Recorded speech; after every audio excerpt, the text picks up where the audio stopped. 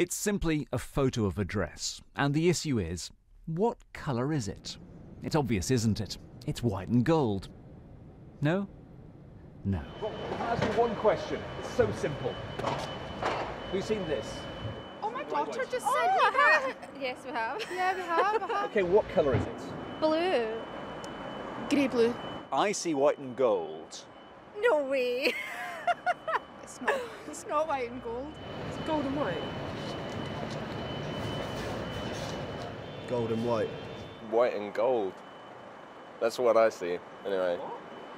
Yeah. No way, that's black and blue. No way.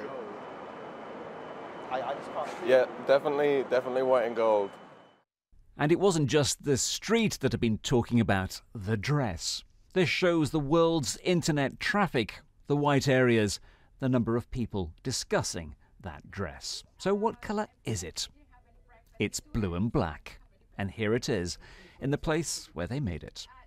Wow, it's a great surprise for us because we produce a royal blue dress, and certainly when you look at it in the screen, it sometimes it shows ivory and gold or royal blue and black. So it's it's a it's a fabulous it's an, it's an enigma.